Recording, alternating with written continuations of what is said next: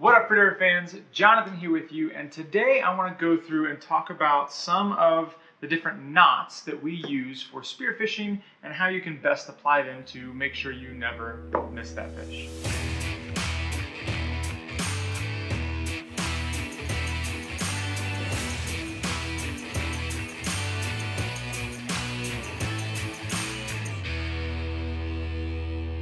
Okay, so the first one I want to talk about is a pretty simple one, and some of these actually all might be fairly simple, but just to kind of show you exactly how they work and when you might use them. So the first one that I like doing is called a girth hitch. Um, and so let's say we have some sort of anchor point, whether that be a line or the loop on your belt, whatever it may be. Um, what you're going to do is simply take a piece of rope, you're going to double it over, you're going to pass it through whatever medium that you feel that you need to tie to. And then you're going to take that loop and press it over the two free ends, right? So it's super simple, but it's an easy way to just attach something without having to make any long-lasting hard knots, right? Really simple to undo.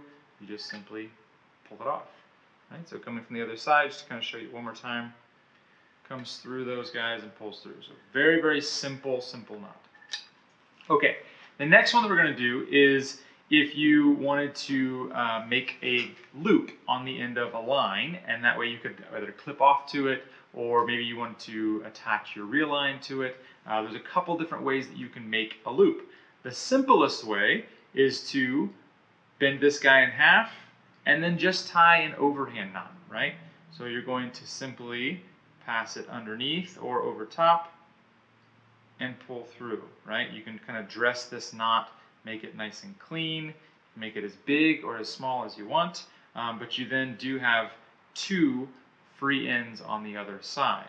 Um, so let's say that we only want one free end on the other side, we would choose a different knot.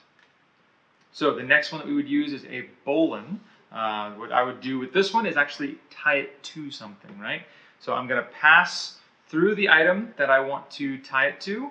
I'm going to take my tail end, which is this guy, and my leading end, which is this guy. I'm going to separate the two, making sure I know which one is which. In my running end, I'm going to pass the tail on top, right? So if you notice there that this tail edge is on top of my running edge.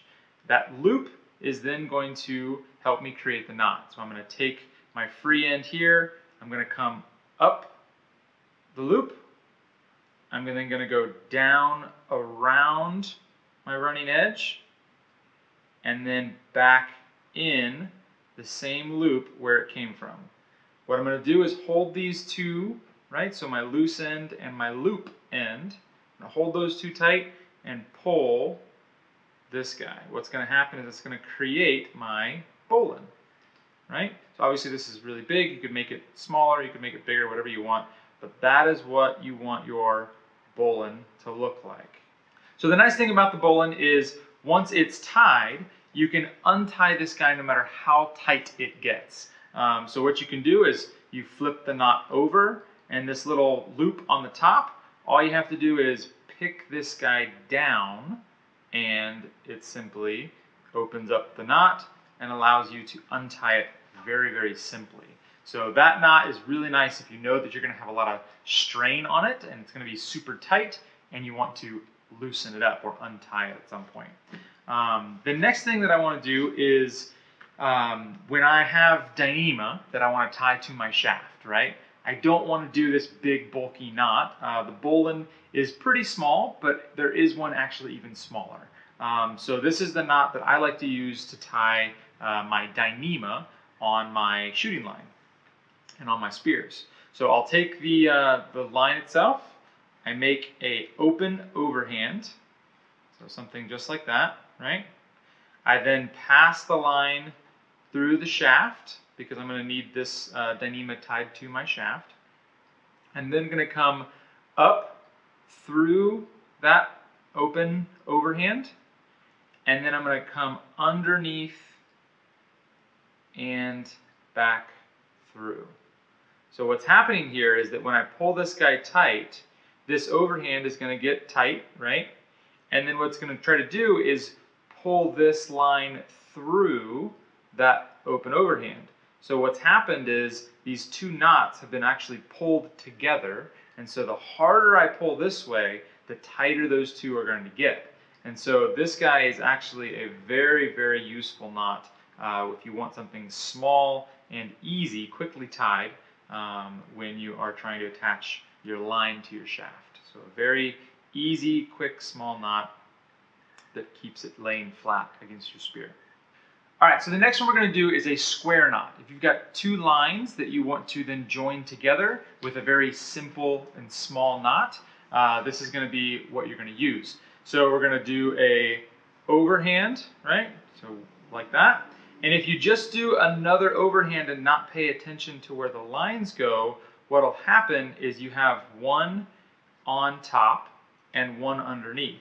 And this actually won't bind. This will uh, slip and run out and not work. So that's not what we want. So we're gonna undo that one and we're gonna come the other way, right? So I want to make sure that the line that's coming in from the bottom goes out the bottom as well. So it simply goes back down. And I can test this because the blue line's coming on top and the yellow line is coming on the bottom.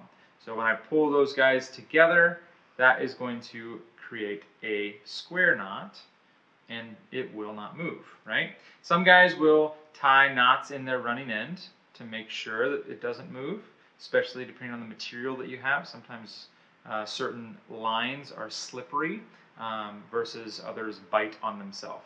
So if you really want to be secure about it, you can throw two overhand knots in the running end and ensure that that won't go anywhere. Um, it's really, you know, it's one of those things that you got to make sure you know what kind of knots you're going to be tying and when you're going to use those knots. Um, I was in Costa Rica uh, with a buddy of mine. We were shooting uh, a bunch of cuberas in the rocks and everything. And there, it's in this part of Costa Rica that we were in, it was super sharp rocks. And they either use cable or Dyneema. Um, and when you use monofilament, the typical shooting line, it gets cut really easily. So I was using Dyneema, um, and I had a, a, buddy of mine tie one of my shafts on, and that was a mistake, right? So I shot a big Cubera, he went into a hole, and the line just pulled straight through, right? Um, this was years ago, um, but unfortunately, I didn't tie my own line. So either you need to learn how to tie your own, or come to us and our spear gun smith will make sure that he's tying the lines for you the right way so that you never actually lose your shaft. Now luckily for me, we were able to back dive it and find the spot where the Cubera came off uh, with his with my shaft and we found it and got him in the boat, which was awesome. But it could have all been avoided if I had just looked at my knots that were on the shaft and made sure that I was squared away literally. Um, so anyway, guys, thank you so much for watching. Um, if you guys did find value in this content, please be sure to leave us a thumbs up. And if you haven't already subscribed to our channel, please be sure to do so so you never miss another one of our cool videos. We'll see you guys in the next one.